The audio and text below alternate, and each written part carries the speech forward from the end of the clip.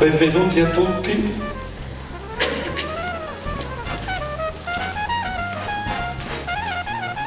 All'inizio della stagione 2016-2017, subito dopo il debutto dello spettacolo più atteso, Il Giardino dei Ciliegi di Chekhov con la regia di Walter Malosti, inauguriamo anche questo nuovo ciclo degli incontri di retroscena, il primo, purtroppo il pieghevole non è ancora pronto, ma avete già tutto il calendario nel programma a libretto che trovate in distribuzione già fuori, è annunciato sul sito e c'è stato un certo tam tam per cui vi ringrazio di essere venuti, man mano c'è altro pubblico che sta arrivando e questo primo incontro naturalmente è dedicato all'analisi, alla discussione su questa straordinaria messa in scena che ha debuttato l'altro ieri, ieri sera ancora, diretta da Walter Malosti e abbiamo chiesto al professor Antonio Pizzo di condurre questo incontro. Come d'uso tutti questi nostri incontri sono affidati ad un intenditore, ad uno specialista. Infatti il professor Pizzo ha pubblicato pochi anni fa un volume apposta dedicato ad una importante messa in scena del Giardino dei Ciliegi, quella di Peter Brook e eh, a lui cedo la parola per la conduzione di questo incontro. Un'oretta, sappiamo che c'è la nostra telecamera che lo riprende, potremo rivederlo poi sul sito del Teatro Stabile attraverso il canale YouTube e eh, do il microfono e la parola al professor Pizzo. Prego. Grazie, grazie Filippo. Io inviterei anche Walter a salire. Eh, ti ringrazio, ringrazio naturalmente il Teatro Stabile per aver di nuovo voluto questa bella iniziativa retroscena che sono onorato di inaugurare e ancora più contento di inaugurare con un testo al quale, come ha accennato Pietro, sono particolarmente eh, affezionato. Il mio compito sarà quello di, mo di moderatore, ma proprio per introdurre la discussione tra di noi ehm, vorrei ricordare eh, che Il giardino è un testo difficile, sì tutti i testi teatrali sono difficili è vero, però all'interno della produzione mm, cecoviana è veramente eh, difficile, è l'ultimo che lui, che lui scrive, ci, ci muore poco dopo insomma. Uh, viene messo in scena nel, il, la prima volta il giorno del suo compleanno nel 1904 e lui in verità non riesce Chekhov a vedere il pieno successo della sua opera perché ripeto è un testo difficile ma mm, sul serio pensate solamente che è vero che Chekhov non è che sia un autore di action movie insomma non è che proprio è pieno di azioni però qui proprio e nessuno si sposa, e nessuno si spara, e nessuno si tradisce. Che diavolo succede? E questi testi messi in, in mano a, a, un regista gli dan, danno proprio la possibilità al regista di rivelare la sua sensibilità teatrale, perché sono testi che non si possono leggere, bisogna vederli, vederli, che, veder, vederli vivere. E poi è un testo che fin dall'inizio ha rivelato le sue difficoltà. Hanno litigato al Teatro d'Arte di Mosca. Stanislaschi, anche la moglie di Chekhov, Olga Nipper, che era insomma lì che faceva da tramite tra il marito Chekhov e Stanislaschi e Dan, e, e Dan Chekhov. Ci hanno un po' litigato, eh? perché non si trovavano su nulla. Perché Chekhov continuava a dire io sto scrivendo una farsa, finalmente scriverò un testo che ha del comico, del leggero. Stanislaschi e Danchenko non se l'aspettavano, ma quasi non l'ascoltavano, pensavano fosse quasi una, una burla. Quando arriva il, il testo, eh, già anche sulla distribuzione non si incontravano. Per esempio Stanislaschi non ha accettato di fare lo packing che era invece il, il, il personaggio che che Chekhov aveva in mente. Ed è un personaggio che aveva ragione Stanislavski che non c'entrava con la sua figura forse con la sua storia. Ma in verità Chekhov aveva intenzione di far lavorare proprio il testo nel dialogo tra la storia dell'attore e il personaggio che aveva. E non si sono trovati comunque perché anche nella messa in scena naturalmente Stanislavski ha seguito il suo modello, ha aggiunto molte azioni, ha calcato il, il, la, la, matrice eh, sentimentale e, e Chekhov non si, non si ritrovava in ciò. Dunque, proprio su questa difficoltà, su questa difficoltà del non far nulla, del non accadere nulla, che io ho sempre trovato una sfida enorme in questo testo eh, che richiede grandi compagnie e capaci registi evidentemente per essere messo in scena. Eh, quali sono state le linee che hai avuto per affrontare questo tipo di difficoltà? Sì, buonasera a tutti. Eh, intanto, eh, secondo me, eh, il teatro di Chekhov è un teatro di attori, cioè testo, sono testi proprio destinati al, agli attori, non, diciamo, il regista può, può, fare un po' la direzione d'orchestra secondo me, eh, poco di più.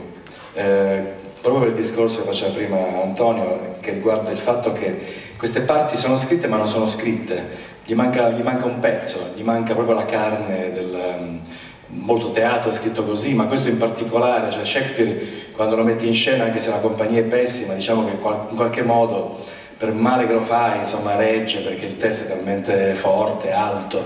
Invece questo, il teatro di Chekhov, e in particolare questo testo che è altamente sperimentale, secondo me, anche se non sembra, eh, non, non, non, ti di, non, ti permette in qualche modo di appoggiarti alle parole. Non basta. Eh, necess- sono necessarie due cose. Uno, eh, eh, un'energia spropositata e gli attori ben lo sanno in questi, in questi, giorni che stiamo andando in scena, quale energia serve per, per ridare quella... Ehm, e l'altra è, è la persona, cioè non è possibile fare questo teatro se dietro diciamo, l'attore e la sua tecnica non c'è la persona, cioè ci vuole l'originalità del percorso delle, dell'attore, ma ci vuole anche la, proprio la persona in, che, che, è dietro questa famosa maschera e non è facile perché poi bisogna poi dare credibilità, bisogna, insomma, la, la cosa su cui ho insistito tantissimo con i, con i miei attori meravigliosi, un cast bellissimo, che adesso poi ti presentiamo, insomma, vengono su a parlare loro, che è più interessante di quello che posso dire io. Ma la, la, la, cosa, cosa, meravigliosa è che sono, devono, devono, in qualche modo, eh, per ottenere questo risultato di, di credibilità, devono darsi in una maniera totale ed è molto faticosa. E la, il risultato non è facilmente comprensibile così a, a un, cioè, Brooke lo dice in maniera proprio pre precisa, cioè sembra un testo quotidiano ma in realtà è, la vita compressa, è come fosse stata eh, liofilizzata. E quindi per, per, restituirla bisogna mettergli il brodo umano, se no, se no non si riesce poi a, a, farla, a farla, volare, a farla um, viaggiare. Oltretutto la, diciamo, la difficoltà del testo è che sono in questo caso 14 traiettorie umane eh, di vita proprio, una diversa dall'altra. E, e, la, e, il testo regge soltanto se metti i pezzi insieme. Io qualche giorno fa ho fatto questo paragone con l'aereo, tu vedi i pezzi di un aereo e uno per uno e non serve a niente, lo devi montare, allora vola e il testo è costruito così, vola soltanto se tutti i pezzi diciamo, sono, cooperano diciamo, al, al, volo. E, per me anche è un, eh, diciamo, eh, l'altra difficoltà è che per Chekhov è una farsa, un vaudeville, per Stanislavski no, per me la difficoltà del testo è che tutte e due le cose insieme e quindi bisogna, essere, bisogna essere, avere la forza eversiva degli attori comici e di vaudeville, eh, quindi una grande libertà, e nello stesso tempo bisogna metterci l'umanità, eh, quindi la, la, difficoltà è quella. E a tutto questo bisogna aggiungere una, una, un lavoro musicale, il testo poi, avendoci lavorato a lungo, ha un andamento musicale fortissimo, quasi inavvertibile eh, così a prima vista, ma invece precisissimo nelle sue pause, nelle sue diciamo, interpunzioni. Eh, che va dato, se, se, ormai sappiamo anche noi, cioè tutti quanti insieme, ci accorgiamo se un dato passaggio è stonato, se è sotto ritmo, perché una volta che è partita la macchina non si riesce più a tornare indietro. Beh, l'idea del testo corale è una cosa che è, è, è, centrale specialmente in questo testo. Come tu dicevi, forse non, è strano perché non sembra che lui scriva forse delle battute, sembra che scriva dei luoghi che l'attore deve abitare, ma deve, deve farselo suo, cioè gli dà dei contorni, ma una, sono delle tracce che lui poi deve, deve riempire. Mm, in, certo, questo è vero forse per ogni testo, ma ancora di più, perché ancora una volta dice ma che, sto facendo, ehm, che sto facendo qui se non riesci a, a viverla. Eh, e poi vorrei, e su questo magari vorrei chiedere se sei d'accordo, c'è man mano a, a, agli attori di entrare. Eh, perché è vero che ci sono dei, dei, credo che forse qualsiasi attore, lo chiederò a, a, voi, si trova di fronte al problema del quale linea seguire, come bilanciare appunto il sentimentalismo, forse il grottesco, l'ironico, la, uh, l'amaro e ogni personaggio ha la sua, ha la sua via per, per farlo. Per esempio, sembrava che a, a Chekhov il, il, modo in cui Organiper avesse realizzato il personaggio non lo convinceva. Sembrava che fosse eh, troppo sentimentale, lui non, non, non accennava, non, non, gli, non, gli, piaceva. E non vorrei eh, anticipare, ma mi sembra che Liuba in questo caso, in questa messa in scena, abbia trovato un modo per muoversi in questo ambiente e su questo, se, se d'accordo, vorrei chiamare la tua attrice Elena Bucci.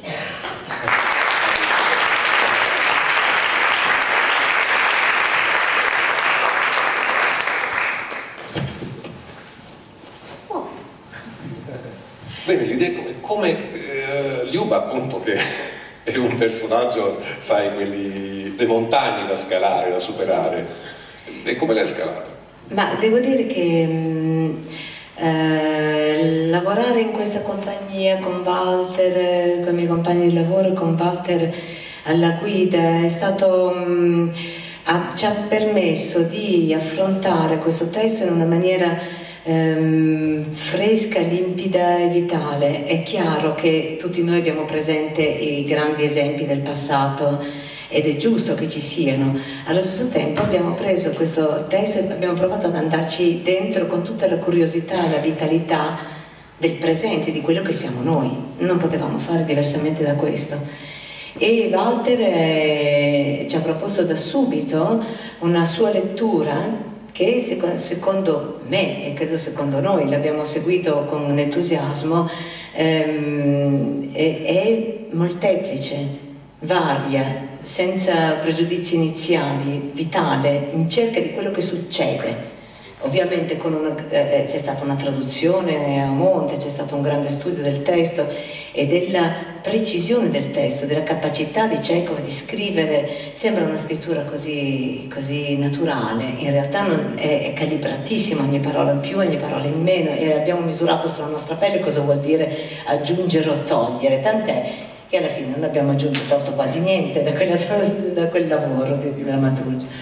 E quindi questa, questa, mh, mm, eh, siamo andati dentro proprio al mistero di Chekhov che aveva in mente degli attori vivi, delle atmosfere vive, vi, viveva profondamente intensamente la vita che gli sfuggiva via tra le mani e questa vita in qualche modo lui la acchiappava senza vittimismi, autocommiserazione, senza, ma con tutto lo spettro, con la bellezza di, di quando viviamo e da un momento all'altro i nostri stati d'animo, se li ascoltiamo veramente, mutano incredibilmente. Siamo selvaggi dentro, siamo, il sentimento, la risata, il pianto si muovono a una velocità impressionante e perdere quella consapevolezza, quella, quella capacità di essere intensamente vivi è una perdita di piacere nella vita e quindi abbiamo seguito con grande gioia questa, questa lettura di Walter che ci portava verso il vaudeville, poi dire, verso il vaudeville è anche una, una, un, un, dire provocatorio, nel senso verso il, il vaudeville eh, ha senso dirlo proprio perché si affrontano anche tematiche grandi, grandissime. E a volte appunto sembra non succedere niente, si entra in un ritmo ver- vertiginosamente comico, poi all'improvviso una riflessione lancinante. E poi l'azione si ferma, si disperde. In un linguaggio talmente vario e complesso che grazie a Dio non si riesce a confinarlo in una categoria. Eh, in una libreria ho sentito poco tempo fa, ed era una, sicuramente una signora molto colta, chiedeva di un libro, aveva voglia di un libro, la libraia gli ha detto guarda ho letto questo qui, è molto bello, molto vivo, e lei ha detto sì ma dove lo incasello? E dentro di me ho sentito proprio un brivido, ho detto ecco speriamo che nessuno dica dove lo incasello del nostro lavoro e credo che sarebbe molto bello.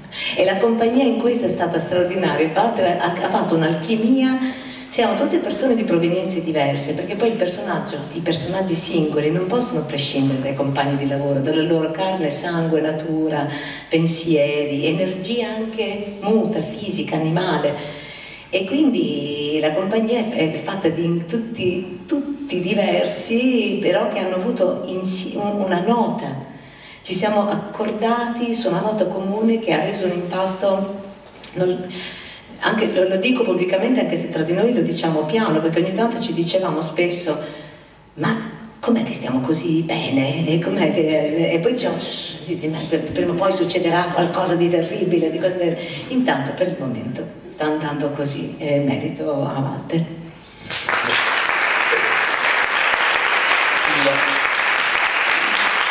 Il tema di questa irresistibile vitalità che tu hai infuso in qualche modo, è richiesto e che loro riescono a restituire così forte è evidente, cioè non, eh, fa- fate, siete vitalissimi, siete cam- cambiate, fate appunto in un testo in cui sembra non accada nulla e invece c'è una vitalità in scena eh, for- fortissima.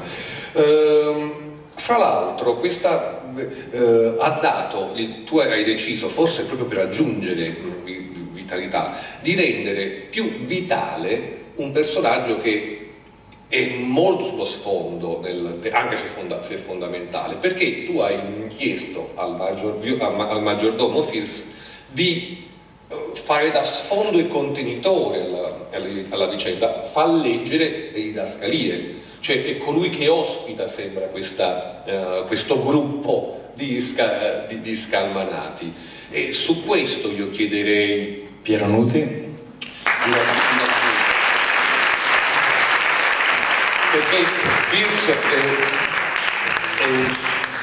è, è, un personaggio è un personaggio che diventa fondamentale in questo spettacolo, ancora più di quanto lo è nel testo, è il personaggio che chiude lo spettacolo. Eh, non è stato facile, non è stato neanche difficile.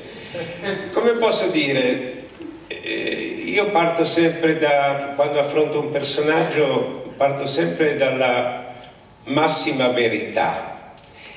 In questo eh, io non, non, trovo grandi difficoltà in questo Chekhov, è la vita.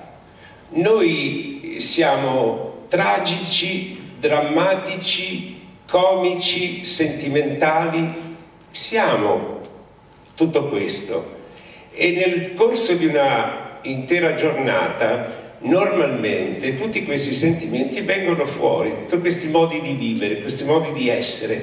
Io posso essere sereno e tranquillo e all'improvviso scoppiare in una lite con, con qualcosa che non mi va e poi immediatamente mi pento, non lo so, siamo fatti così. È inutile complicarci l'esistenza. Chekhov eh, vuole questo secondo me, vuole la vita vera. Allora più tu attore riesci ad essere vero e più vinci la tua, la tua battaglia. Io mi sono trovato a fare questo personaggio che è contro tutti i miei modi di vedere la vita, perché non sarei mai un servo di, di, di un'idea così folle come hanno questi due miei padroni. Però io dico, ho rifiutato la libertà e, e ho accettato, sono rimasto con i miei padroni. Perché?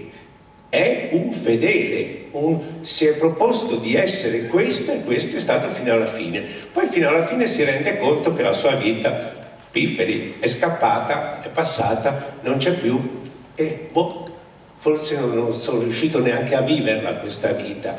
E, ma è la realtà di tanti di noi. E in questo senso Walter mi ha, mi ha aiutato ad essere questo penso di averlo fatto decentemente, state a dire se l'ho fatto o no.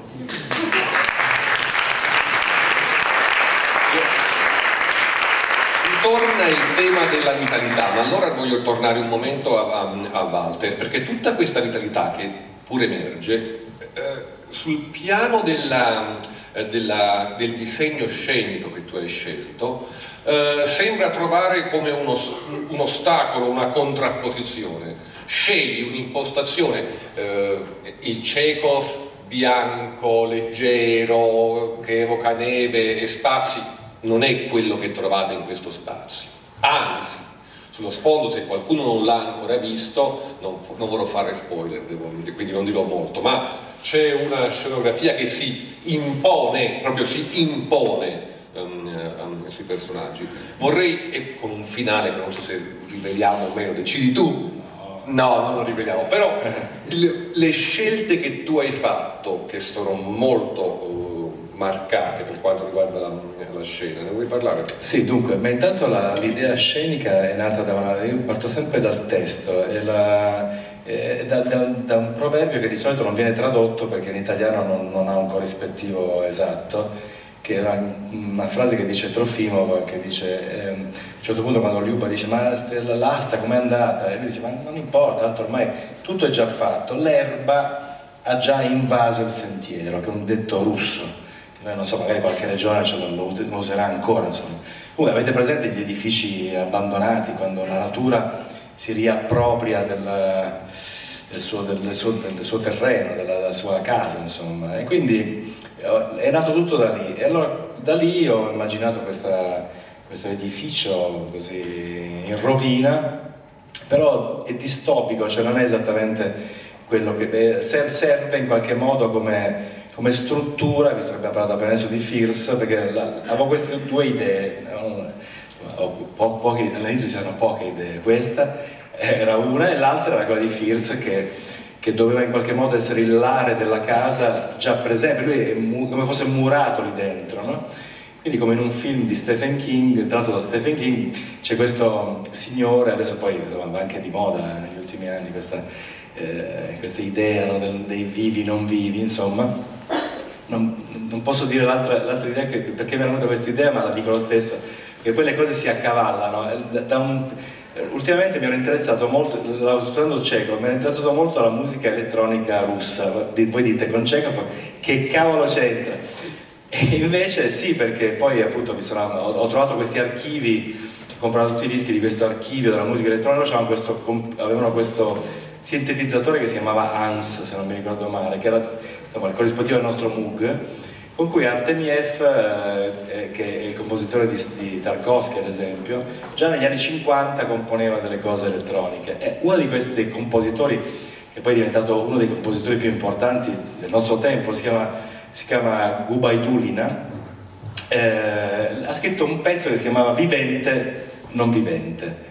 Allora, eh, voi dite, ma come mai nascono? E da lì mi è venuta questa intuizione del, di questo vivente, non vivente. C'è una casa in cui non sai chi è vivente e chi è non vivente.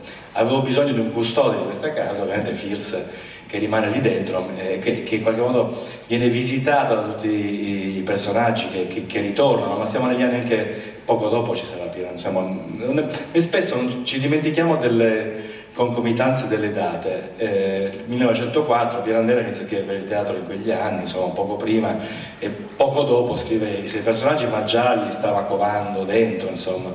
Eh, e l'altra cosa è la presenza della storia, cioè avevo bisogno di questa struttura molto solida, della scena, insomma, perché nel, nel testo viene scritto nel 1904, anche lì noi essendo italiani e non studiando tanto la storia, comunque anche uno lo sapesse non ci fa subito caso, Nel 1900, tanto eh, scoppia la guerra con il Giappone poco dopo, ma nel 1905 c'è la famosa Domenica di Sangue, in cui c'è la prima grande rivolta dei contadini e degli studenti eh, che vengono massacrati tra l'altro, quindi probabilmente Trofimo finirà lì morto a, a protestare e quindi la, la, la, la, storia della Russia, ma anche la nostra in qualche modo, eh, perché ci, ci, riguarda tutti quello che è successo in Russia ovviamente, molto da vicino, ha influenzato tutto quello che è accaduto anche da noi fino ad oggi, fino alla caduta del muro appunto. E volevo che ci fosse una presenza di, di quella storia che si vedesse, e lo volevo soprattutto ne, sì,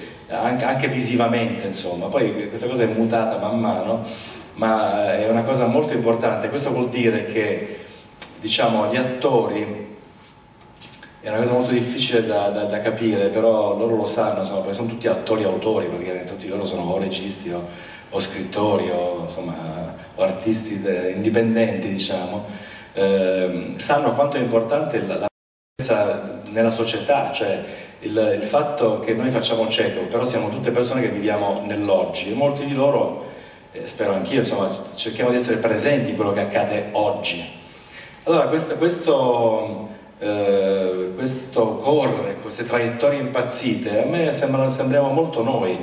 È un momento in cui non c'è un'idea, le ideologie stanno appunto, come si dice, dicono tutti, sono azzerate, no? E sembriamo come delle, delle, delle scie impazzite in marcia, in corsa, no? oppure qualcuno è più fermo, qualcuno come appunto, qualcuno si ferma nella casa, qualcuno rimane ancorato dalle cose più antiche ma è sempre in movimento. E alcuni stanno marciando, chi sta marciando lo sappiamo benissimo, chi, chi è in questo momento, eh, attraversa, attraversa, il mare in questo momento chi sta marciando, no? eh, però noi non sappiamo, non, sappi, non sappiamo cosa accadrà. No? È un momento molto simile a quello che cioè, sicuramente insomma, io vi, vi, auguro di non cadere vittime di una rivoluzione, ma voglio dire l'aria la, la, che si respira, eh, non, solo non sappiamo quando e come, ma qualcosa accadrà no? ma non lo, non lo, sappiamo, quindi questa presenza della storia, quindi diciamo la, la, la, la, virulenza di questa cosa sui personaggi in Chekhov è molto evidente.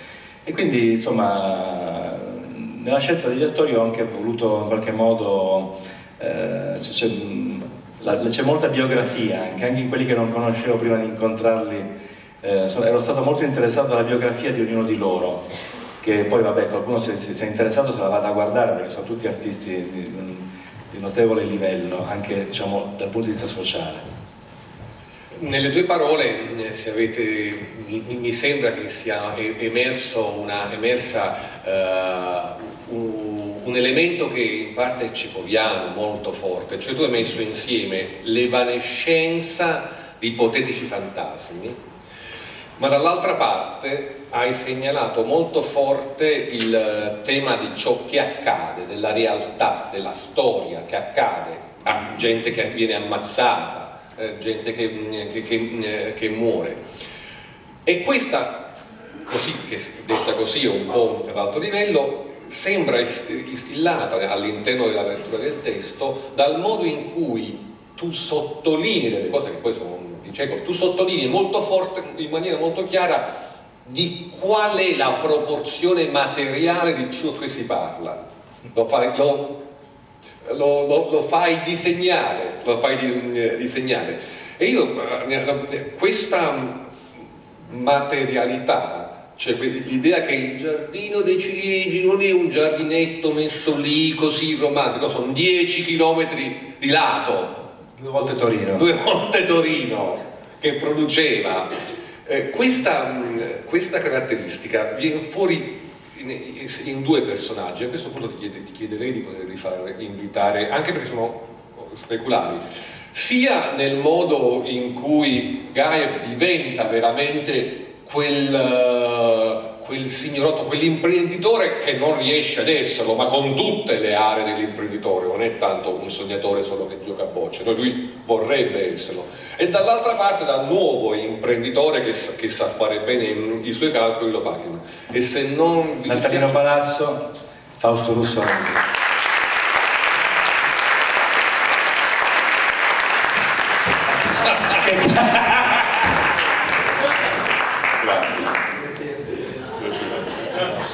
Allora, uh, allora la farei a... Quello è Piccolo. Eh, Piccolo. Beh, saresti piaciuto tantissimo a Cecco. Io ho, leggendo tutta la sua corrispondenza direi che gli piaceva, gli, gli sarebbe piaciuto tantissimo il, il Togali, gran, grande vita, eh, gran movimento, piedi per terra e perdersi, perdersi di tanto in tanto e devo dire che l'ho apprezzato tantissimo perché io non so come si possa fare, cioè come se fossi, fossi un attore non saprei farlo proprio, anche se fossi bravo, il tuo ogni tanto uscire terminare la battuta come nel testo con carambola a destra, con descrizioni di giochi del biliardo, lo fai con una delicatezza di cui ti faccio tutti i grandi complimenti. Io starei per ore a sentirti parlare di me, ma per alzata di mano, quanti hanno già visto il giardino dei ciliegi? Tutti quindi sappiamo di cosa stiamo parlando, tranne diciamo 4-5 che non hanno ancora capito un cazzo di cosa sta succedendo. E, e, io adesso no, non so se, eh, se fare, cioè l'unico motivo per cui sono stato chiamare, chiamato qui, cioè svegliare la gente che sta dormendo, o se invece a, a tirarmela un po' anch'io e parlare come se fossi un attore vero. E invece eh, eh, la lettura che ho dato io, cioè intanto ho, ho aderito a questa visione malostiana del Chekhov cocainomane e, e, e devo dire che e il giardino dei ciliegi è un giardino zen, no? Cioè, potremmo andare tutti con rastrellino a tirare la sabbia, no?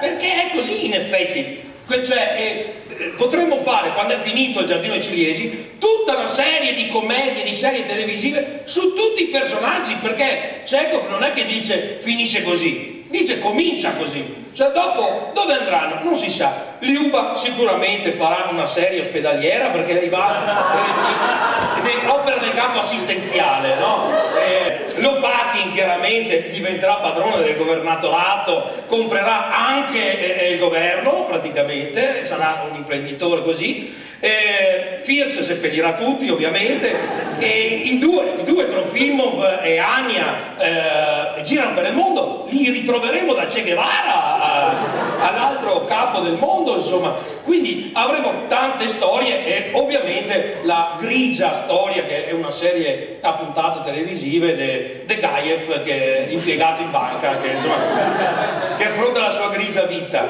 ma è, è, perché è un giardino zen? Perché è proprio questo rifluire della vita che i ciliegi danno, no? cioè ogni anno eh, le ciliegie noi le prendiamo, poi spiega tutto, Firs, facciamo le marmellate, vendiamo, eccetera, e, è interrotta dall'uomo no? che, che, che tira giù tutto quanto, però in realtà l'uomo è parte della natura, infatti queste storie sono come proprio dei frutti che dopo rinascono e diventano un'altra cosa, è circolare come, e, e, secondo me la filosofia del giardino dei ciliegi è la filosofia di Pishik, cioè lo scroccone di famiglia, il quale dice qualcosa succederà. Cioè, e, e, forse Chekhov intende questo, insomma, perché diceva mi sento male, speriamo che ci sia qualcosa anche dopo la morte, perché non mi sento tanto bene.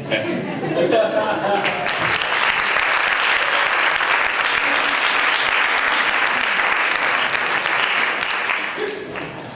Io eh, invece a quello che diventerà, a colui, sì, a colui che diventerà padrone dell'universo, abbiamo eh, capito che così mm, eh, lo disegna. Però, però c'è una debolezza nella, che lui mette, più, mette, molto in chiaro. Cioè sì, diventa però bravo, fa i soldi, ce l'ha tanti, cioè, però c'ha il debole per, per Liuba, ma ce l'ha pesante il, il debole per Liuba. Devo dire che in questo tanto l'hanno visto tutti. Non sa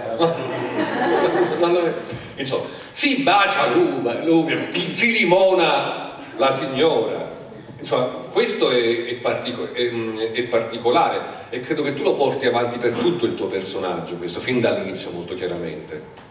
Racconto le sensazioni. Impossibile parlare dopo Natalino Basso tutto è più noioso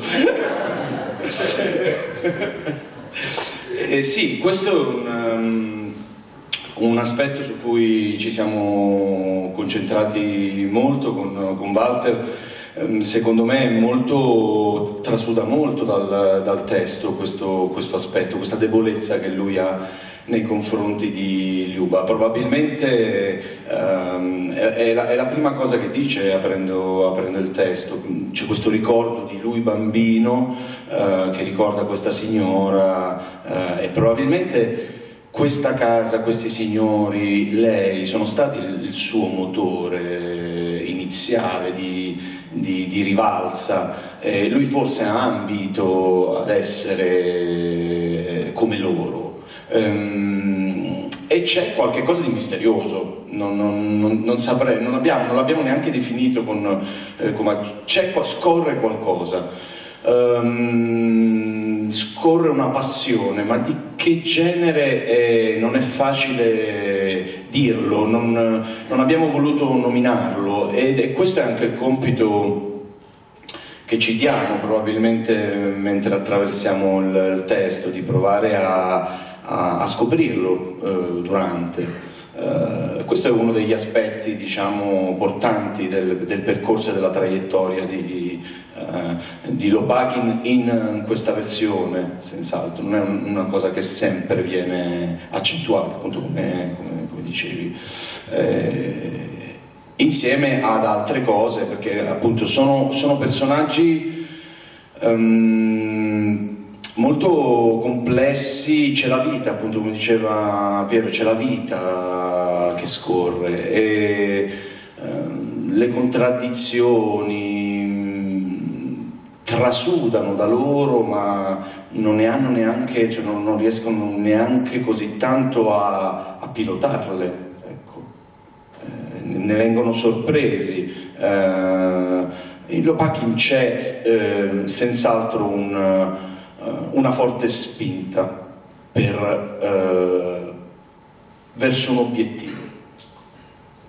Sì, e infatti non, eh, credo che dall'inizio si capisca che non c'è nessun dubbio nel momento in cui Liuba consegna il desiderio di vedere Vania sistemata e chiede a, a Lopakin di insomma, fargli la, la dichiarazione, ecco, Credo che in quel caso Allopaghi non passa per, proprio per...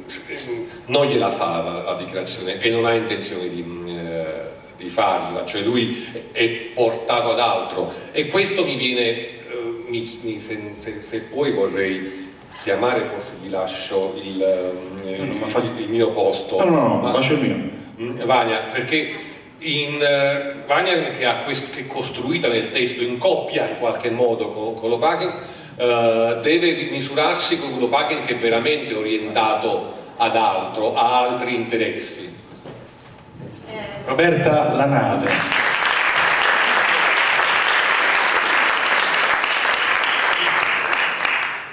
Sì, eh, io ci credo tutte le sere, poi non succede mai purtroppo. Um, Varia, eh, Varia ehm, poverina, eh, tutti quelli che hanno visto lo spettacolo mi hanno detto mamma mia quanto eri antipatica, volevo ucciderti a un certo punto, eh, però ehm, così eh, sono le persone prive d'amore. Cioè lei intanto è la figlia adottiva, è stata adottata, quindi i suoi genitori non si capisce bene chi siano. Eh ha questa mm, mamma che non chiama proprio mamma, chiama mamochka, mammina. E, e, e, comunque la differenza con Ania che invece è la figlia vera, naturale, si sente. Quando loro se ne vanno a Parigi lei rimane lì e, a gestire la casa e, e la, la, la, deve gestire a fronte di questi debiti enormi. E siccome lei è una ragazza molto credente, molto concreta, molto, che trae piacere dall'esercizio del dovere, Um, allora a un certo punto fa mangiare ai, ai, contadini e ai domestici solo piselli, perché in questo modo forse riusciamo a salvare la casa. E loro iniziano a parlare male di lei, la odiano, dicono che è avara e, e quindi lei si trova ad affrontare questo odio continuo quando in realtà cerca solo amore. Lopakin le promette di sposarla, tutti le dicono che Lopakin la sposerà e alla fine non la sposa. e lei se ne deve andare a fare l'economa, a gestire un'altra casa, e, abbandonando tutto quello che ha sempre amato prima di tutto la casa, lei porta sempre le chiavi, lei è la padrona, porta le chiavi, ehm, come Pietro, ehm, e tutto quello crolla sotto i suoi occhi senza che lei possa fare niente. E infatti c'è un gesto molto significativo all'interno del testo quando Lopakhin arriva e dice ho comprato io il giardino, c'è un gesto sottolineato nel testo che ben, che ben realizzato, lei getta le chiavi a terra.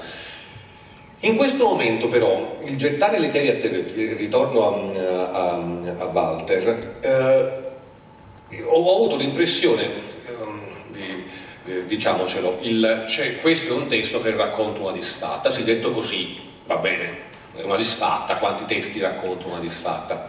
Il problema è che è una disfatta strano, strana perché è una disfatta che nel secondo atto viene in qualche modo allontanata, nel terzo esorcizzata e addirittura nel, nel, nel quarto sembra benedetta, ah, meno male.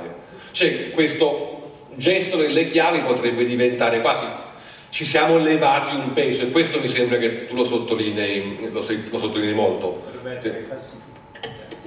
Dunque, intanto come abbiamo messo un pezzo nel programma di Sala che non so neanche se sia in vendita, ma perché ormai sono un po' desueti i programmi di Sala, ma forse tra un po' lo metteranno sul web, non lo so, appena finisce lo spettacolo, eh, quindi potrete poi leggerlo. Eh, la, mm, eh, diciamo, abbiamo preso un pezzo di Alexander Minkin, che è un giornalista famoso e appassionato di teatro e, e, e, da lì ho capito tante cose. L'ho comprato a Ginevra per caso questo libro e si, e si chiama Un'anima dolce il libro, che è esattamente l'appellativo con cui viene chiamato Lopakin da Trofimov, che è curiosa quella cosa anche. Il, il, il, primo pezzo che ho letto, adesso c'è subito un doppio senso sessuale, ma evitatelo, le misure sono importanti la, la, nel senso che, come diceva lui prima, il giardino è un, è un, non è un giardino come ci immaginiamo noi, ma è un, insomma, una proprietà vastissima, molto, infatti il disegnino che, che, che, ha fatto poi lui, che si è studiato eh, su mia proposta della lavagna, di, di, fatto, la città io la volevo piccola comunque rispetto alla, alla proprietà, cioè la città, grande città che lì vicino, è molto più piccola della proprietà e questo è importante per, chi, per gli spettatori, di solito è una cosa che non viene, non viene tenuta in conto. L'altro aspetto economico è che Lopakin eh, vorrebbe salvarli continuamente, cioè, si, probabilmente ha già prestato migliaia di rubli alla famiglia e a Liuba, è solo che Chekhov è talmente sottile che se non lo, se non lo calchi o se non studi il testo non, non te ne accorgi, cioè, perché, cioè, mi presta ancora dei soldi e dice, ah sì, certamente cioè, e, e oltretutto nello stesso, piano, allo stesso punto dice le do 50.000 rubli, che sono una cifra sostanziosissima. Eh, e vabbè, questo è, questo è, un punto, diciamo. Quindi l'altro, cardine della nostra interpretazione, forse eh, Fausto ha omesso per, per, delicatezza, ma perché non vuole parlare troppo, ma è, sicuramente il fatto per, perché Chekhov voleva far fare a, a Stanislavski Lopakin perché voleva un mercante, sì, ma un mercante nobile. Lui insisteva, in tutte le sue lettere insiste su questa natura del mercante che non deve essere il mercante avido, come invece purtroppo molto spesso viene rappresentato. Cioè sì, lui è un imprenditore, quindi vuole fare i soldi, non è che è una, una mammola. Però diciamo, le, le, conseguenze poi economiche della, della, dell'acquisto, per cui Gaia per esempio è contento, perché gli viene sollevato un problema, è che alla fin fine, eh, come eh, in C'era una volta il West di Sergio Leone, in cui la proprietà viene, viene salvata dal, dal, dal, buono di turno, che non è tanto buono, ma, ma in quel caso lì sì, rispetto ai banditi che avrebbero comprato la proprietà con niente, no? e penso che Leone abbia in mente il giardino dei ciliegi, eh, lì c'è il milionario Deriganov che viene nominato, no? che è il, classico caimano, no? eh, e Lopakin combatte questo Deriganov e addirittura in un impeto salvifico per la famiglia offre 90.000 rubli oltre il debito, il debito lo possiamo commisurare intorno ai 40-50.000 rubli, E quindi sostanzialmente Aminkin diciamo, fa, fa, fa, questa cosa e dice sono, è un milione e mezzo di euro di oggi, quindi sostanzialmente Ania potrà studiare. E per quello che Liuba non è cattiva quando dice mi tengo i 15.000 rubli della, della, della zia, tiene una quantità modica di denaro in confronto a quello che poi la famiglia ha in mano. Quindi anche, anche que- ed è per quello che forse, non lo so, perché poi in Chekhov nulla è, anche questa cosa che lui non, vuole sposare varie, io non la darei così per scontata. Non la darei per scontata perché eh, sono tante possibilità sottili che accadono una accanto all'altra. Lui per un momento probabilmente ci pensa pure, non si sa per quale motivo, ma intanto si vede che c'è un rapporto precedente, quindi che adesso è messo un pochino in, diciamo, in ombra dal fatto che lui è diventato un imprenditore rampante, quindi non c'ha tempo però appunto non la scarterei così a priori, adesso poi non c'è, tempo di fare tutte queste... però sta di fatto che questo, questo, questa cifra è molto consistente, per quello che forse Trofimov alla fine dice ma guarda te, ma in fondo ti voglio bene, cioè i due che hanno battibeccato per tutto lo, il, te, il tempo del testo invece trovano questa dimensione, il tratto bellissima, questa dimensione che ormai di solo più russa, questa cosa dell'amicizia maschile, no?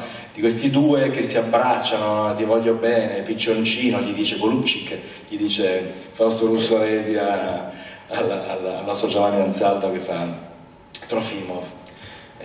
Che sono fra l'altro appunto due opposti, nel testo vengono proprio messi come due opposti che alla fine si rincontrano. Io abbiamo, abbia, abbiamo infatti, se, mh, Dobbiamo terminare alle sei e mezza, chiedo al...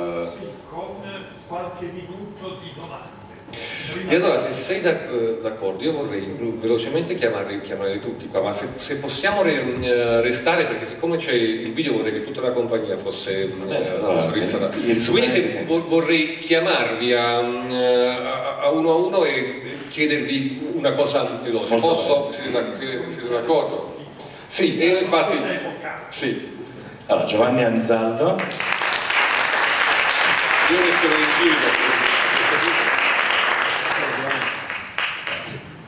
Se il, che il sognatore, li metterò qui al lato a questo punto, che è, senza cadere, che il, il sognatore molto, molto, molto, molto energico, molto, eh, molto rivoluzionario, che però ha una una versione, correggimi, aiutami, romantica, cioè qualcosa di molto eh, giovane per bene in, verità. Vorrei che tu mi commentassi il tuo personaggio, magari non l'ho visto bene. Eh, perché poi è strano perché poi nella vita io mi drogo, quindi no, scherzo. No, ma eh, per, per, bene sì, sì, no, più che altro quella cosa che abbiamo ehm, su cui abbiamo lavorato con Walter è, insomma, è un rivoluzionario, quindi deve esprimere con forza le sue idee. Di solito è sempre stato rappresentato un po' abbastanza dimesso. Ehm, ed è, invece no, chi crede nelle proprie idee lo esprime con forza, con, eh, con, con impeto. E, ehm, e poi um, alla cosa per bene sinceramente non ci ho pensato, però... Ehm... Forse sarà perché non ti trovi, allora esatto, bene. Esatto. Fra l'altro ha un'irruenza fisica che proprio cerca di, di comunicare questa, uh, questa, questa volontà. Stessa irruenza che in genere non hanno e che invece ritrovo, hai segnalato anche nella giovinetta, delicata Ania che invito a salire con noi qui.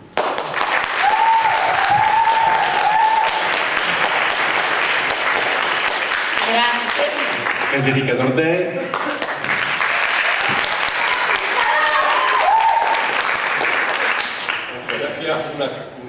Ma è ancora a lei fa ancora la scuola per attore del Teatro Stradito. Alla quale chiederei due parole sul suo personaggio. Sì, um, Diciamo che il personaggio ha un cambiamento all'interno del testo perché parte che diciamo è molto molto infantile, cioè non molto infantile però comunque è infantile ed è una ragazza di 17 anni abbastanza viziata e coccolata da tutti. È vero che ha avuto in precedenza delle, delle cose brutte in famiglia, è morto il fratellino e il papà, però comunque diciamo se la vive bene. e, e durante il testo però affronta un cambiamento, infatti diciamo si infatua di questo bel ragazzo qui accanto a me e, e cresce e decide appunto di, eh, anche con appunto la vendita del giardino dei ciliegi, capisce e dice io voglio studiare e voglio diciamo emanciparmi anche dal punto di vista femminile. E quindi niente, è un bel viaggio all'interno del personaggio e questo. È molto simile, tra l'altro se qualcuno ha voglia di leggersi, gli ultimi racconti di Cecco sono bellissimi e questo, c'è un racconto che si chiama La fidanzata che ha molto a che fare con questo personaggio, il personaggio di Ania. Poi adesso Antonio mi chiedeva di chiamare gli altri protagonisti, Eva Robbins.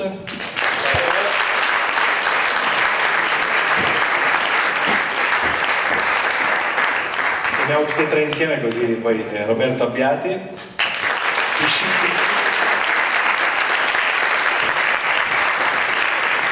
Alessandro Conti. viandante interpretazione Camilla Nigro è dovuto andare a truccarsi perché c'è un ordine di trucco un po' impietoso e quindi non è qui con noi Tuniascia. Eh, Beh, io chiederei a, a, a loro sì. Eh, porca miseria. Do, porca miseria. Gli Epicodov! Il mitico Gaetano Colella. Camilla è dovuta andare a farsi i capelli, quindi non c'è. Ho detto, ho detto, ho detto.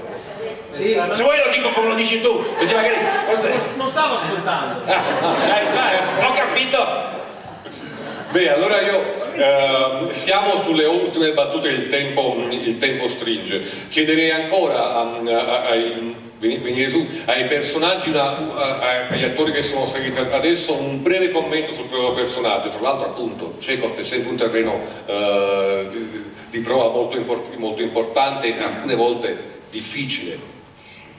Beh, intanto sono molto grata a Malosti che ha pensato a me per questo piccolo grande personaggio che è, un po' nomade, ehm, è una governante ma in realtà governa l'intrattenimento, quindi è seduttiva, fa questi giochi di prestigio che, che incantano, però in realtà eh, cioè vive lo sgomento di dover abbandonare questa, questa casa e questa famiglia.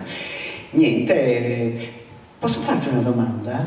Ma eh, ehm, quando eravamo a Chiusi, che tu eh, recitavamo in due spettacoli diversi, è lì che ti è venuto in mente il Chekhov? Perché c'era qualcosa di Chekhov nel, nell'omosessuale, la difficoltà di esprimersi? Che, che noi ci facevamo un piccolo riferimento alle tre sorelle di Chekhov. Eh, ti è rimasto nell'inconscio e poi niente, eh, mi scrisse quando in, in, quel periodo ah, mi è venuta una piccola idea, ma non era questa l'idea, era già questa. Bene, grazie Malosti.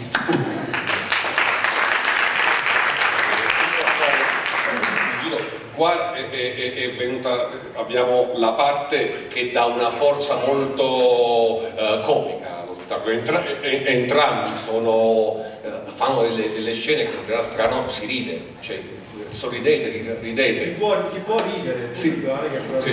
si può ridere.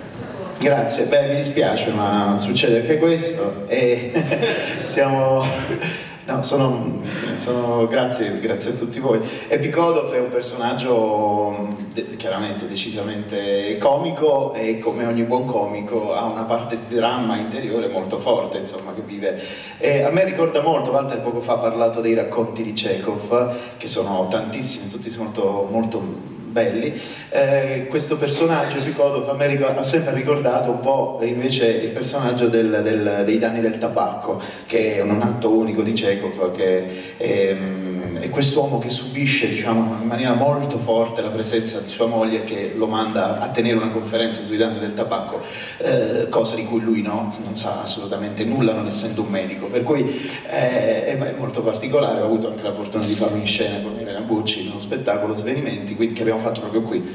E quindi insomma ci sono una serie di rimandi fra questi personaggi molto ricchi e molto densi, sebbene siano anche eh, personaggi, come dire, che stanno a, sullo sfondo, insomma. Passo la parola a Beati, prego. Eh, salve.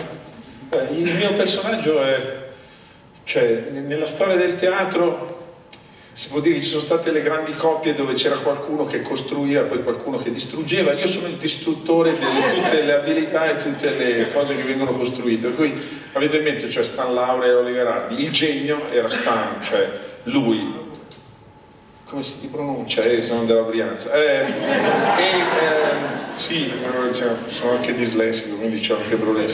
Cioè, quindi io eh, capisco che devo tantissimo della comicità, se c'è, di quel che faccio, è perché distruggo tutto quello che altri hanno così abilmente costruito in questo spettacolo, cioè tutte le abilità loro. Ehm, sono, è, è, proprio come il personaggio di Pisci, cioè lui chiede continuamente, cioè voglio dire, deve, io devo restituire molto a loro, insomma, quindi me la cavo benissimo, cioè io sono lì così e a posto.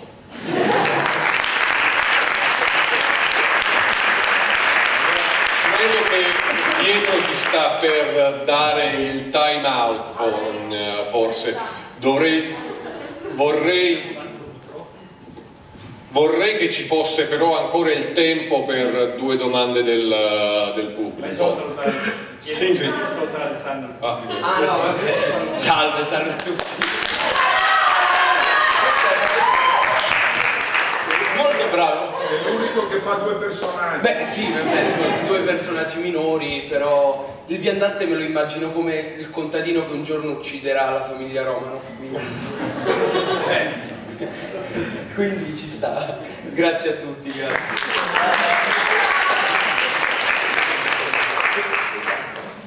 Noi eh, abbiamo molto a cuore eh, questi incontri perché sono frutto di una collaborazione molto sentita, diciamo pure, con i docenti di teatro dell'Università Antonio Pizzo oggi e poi tutti i prossimi appuntamenti saranno o lui di nuovo o altri suoi colleghi ma abbiamo anche un docente emerito qua che è venuto apposta e credo voglia fare una domanda, il professor Roberto Alonge. A lui la parola.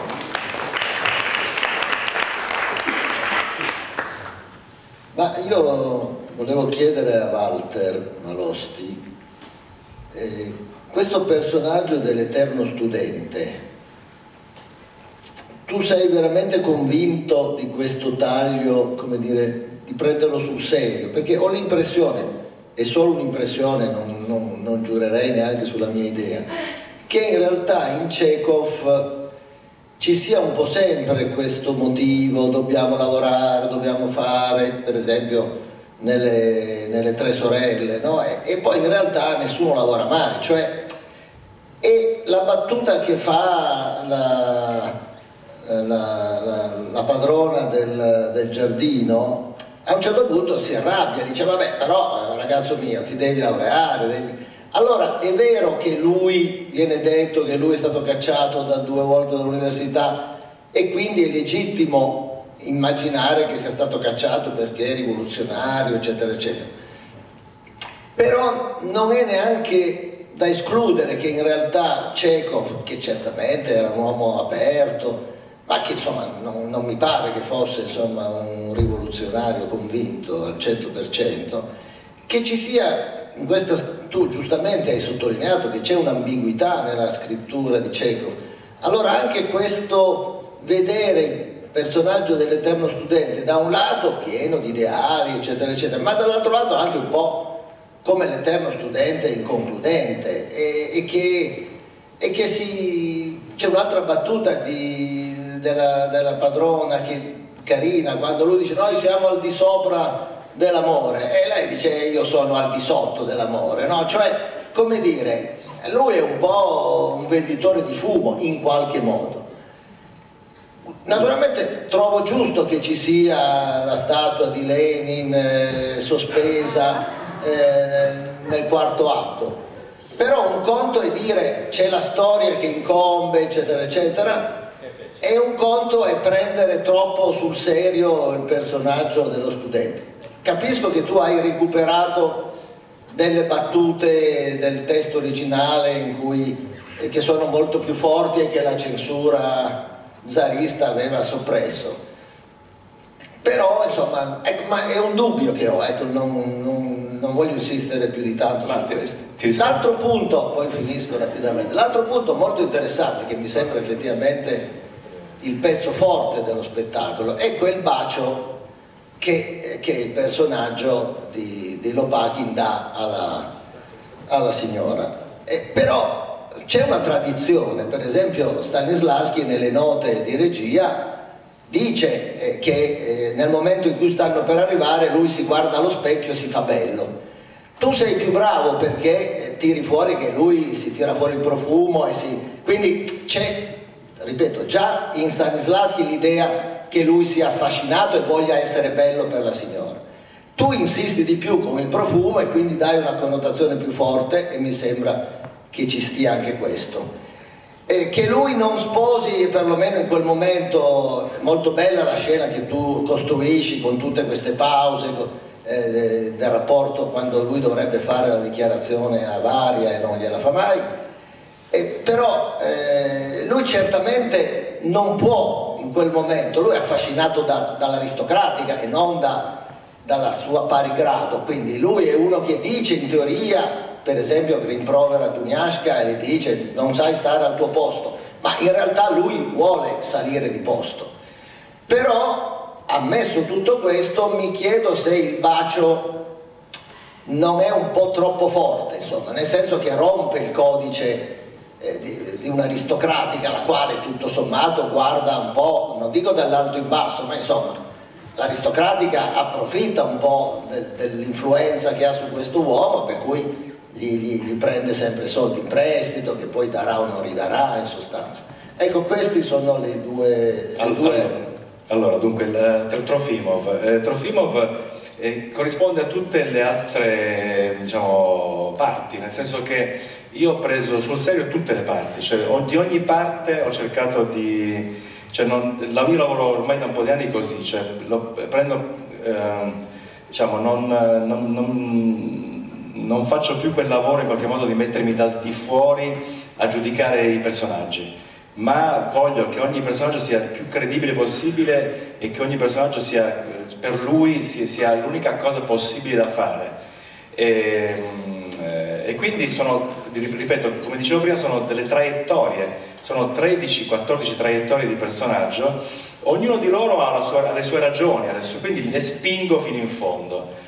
Eh, non, sono contrario a, eh, e penso che anche Chekhov lo fosse, a questa distinzione bene-male, eh, così non così, è, tutto, è tutto purtroppo è scritto non so, non so fare un paragone adesso musicale, ma è mo- molto rarefatto, cioè Debussy diciamo, quella, non, non sai mai la nota prossima quale sarà.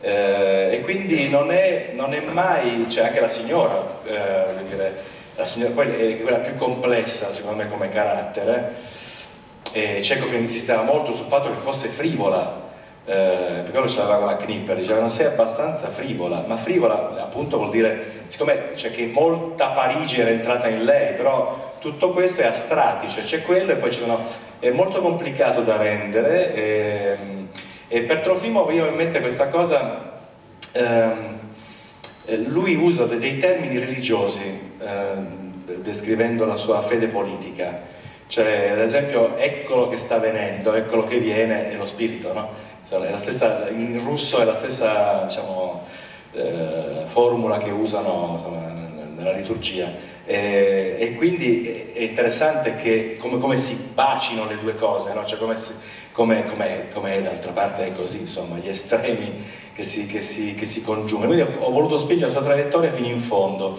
Ho voluto che, che quando i personaggi, e tra l'altro leggo i personaggi attraverso quello che dicono gli altri e lo prendo alla lettera. Cioè, ad esempio, la signora dice: Ma come sei intelligente? Oppure come sei incapace alla fine, perché è intelligente dal punto di vista intellettuale ed è incapace dal punto di vista umano, diciamo, um- l'umanità eh, diciamo, sessuale, diciamo, non, eh, nega appunto quella cosa che dicevi tu, sopra, noi siamo al di sopra dell'amore, lui nega quella- quell'aspetto lì, quindi è un personaggio composito eh, che, ha tan- tanti aspetti, non, non ne ha, non ne ha uno solo. L'altra domanda era? Il bacio, il bacio anche lì, eh, dunque, dunque la- l'azione è che eh, Lopakin bacia eh, Liuba, non è che si baciano. Eh, e quindi da lì poi eh, le reazioni dei due sono molto diverse, sono eh, come, cioè, adesso non voglio entrare troppo perché poi mi, non mi piace andare troppo, magari poi se poi ci vediamo, ne parliamo insieme, insomma, ma lì è veramente lasciato la libertà di, di chi guarda anche capire, è, è, molto chiaro quello che fanno loro due lì, e quali sono, eh, però è una cosa che accade. E, e lei dice, magnifico, eh, ma non sappiamo cosa vuol dire magnifico, se è magnifico che se la sposa, se è magnifico che, l'ha baciata bene, se è magnifico che non so, cioè sono, eh, è, è, tutto, la cosa è che in cieco è tutto sospeso, non c'è, mai una cosa netta. Sappiamo solo, lo sappiamo solo dopo noi, quindi dopo c'è stato Lenin, insomma. Eh, quello lo sappiamo noi, però cieco non, non lo sapeva, tra l'altro lui non era anche troppo impegnato politicamente, non, non, cioè era un uomo molto impegnato socialmente, è stato un uomo straordinario dal punto di vista umano e anche sociale, cioè, se pensi soltanto nel suo testamento eh, ha lasciato tutti i diritti delle sue opere ai poveri della sua città, quindi, eh, e poi è andato appunto a, a Sakhalin a, a, fare questo reportage sui, sugli esiliati che erano soprattutto politici. E le immagini sono terrificanti, non so se le avete mai viste, sono cioè questi esiliati, questi la, la, costretti a lavori forzati che a, a, lavorano con questi carrelli, lavorano in miniera soprattutto e hanno, sono legati con la catena ai carrelli, quindi un altro, insomma, e questo insomma, penso di aver risposto. Posso aggiungere una piccola cosa come protagonista della scena? eh, una piccola cosa che si vive da dentro, no? Andando da dentro, lasciandosi proprio, abbandonandosi alla scrittura di Chekhov e ad aprire tutte le possibilità. Questa cosa del bacio è venuta non da una cosa mentale, ma da un'apertura sensuale che è, è, tut, è tanto Chekhov. Eh, possiamo contemporaneamente eh, lasciare che accada qualche cosa con una persona pur amandone un'altra Possiamo non riuscire a dire il nostro amore per una persona che sentiamo simile perché siamo dei pianeti che non riescono a comunicare.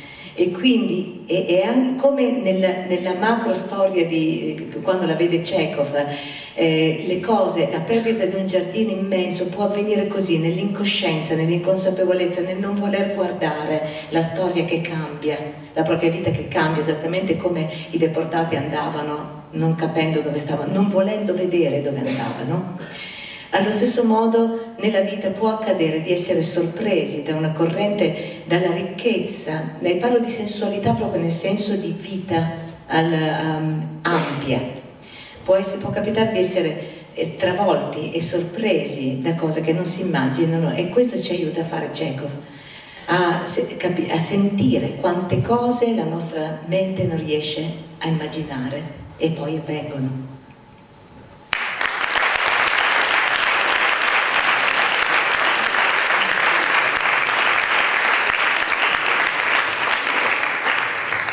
Chiudo io.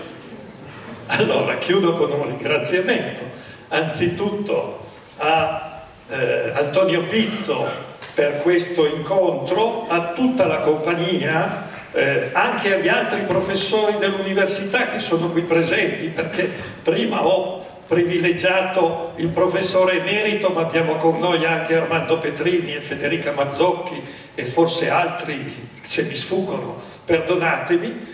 Ringrazio la compagnia, tutti voi e vi do l'appuntamento per mercoledì della prossima settimana perché oggi per il prossimo appuntamento che è dedicato alla signorina Felicità, lo spettacolo che si sta montando dietro a questo sipario. In qualche modo per ospitare questo incontro abbiamo chiesto ospitalità alle prove, abbiamo adattato l'orario delle prove della compagnia che sta debuttando con questo nuovo spettacolo e quindi non mancate mercoledì prossimo alle 17.30.